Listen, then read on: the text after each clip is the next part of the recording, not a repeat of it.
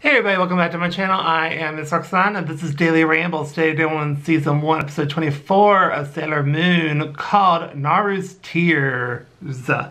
Nephrite dies for love.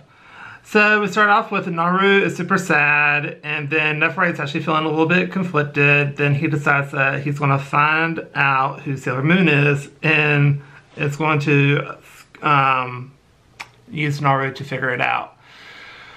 Because Sailor Moon has been, um, has always kind of helped Naru whenever she's in trouble. So she's going to, he's going to use her to get to Sailor Moon.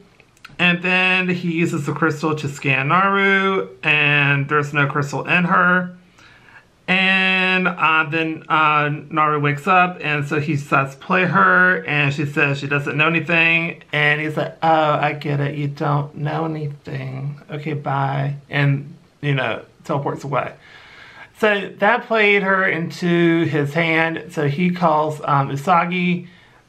Naru calls Usagi.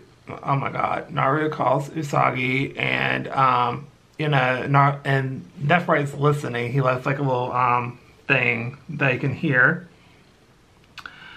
And then uh, uh, Zoisite Spine, I'm just kidding. Zoisite left, or maybe both of them. One of them left a listening device. Anyway, and uh, Zoisite Spine needs um, Naru as a hostage. And then, mm, uh, so that Usagi transforms, and then we cut to where Nephrite knows um, who she is now and blasts her. And then Tuxedo Mask comes and helps her.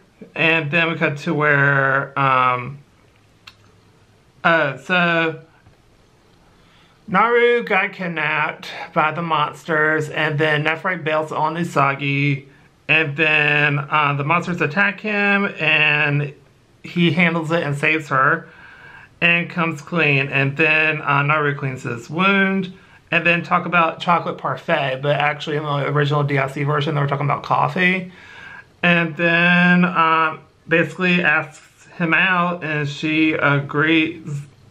He agrees. They both agree, and they're vibing pretty hard. And then we cut to where the monster attacks, and then Nephrite saved Naru, but um, literally got hurt really bad um, when he gives up the crystals. Then Naru actually removes the thorns, and technically she's not supposed to move it, but she's so full of adrenaline right now that she's actually removing some of the thorns and stuff. And she won't leave, and then Nephrite, um, again, saved Naru again from Zoisite, and Zoisite got the crystal. Then Scouts show up, and you have a really big action scene, and where they do a fire tiara thanks to Mars and Usagi and we've um, the monsters are gone. The Nephrite is going and says goodbye, and he's gone. And that was the end of the episode. I gave this an A plus.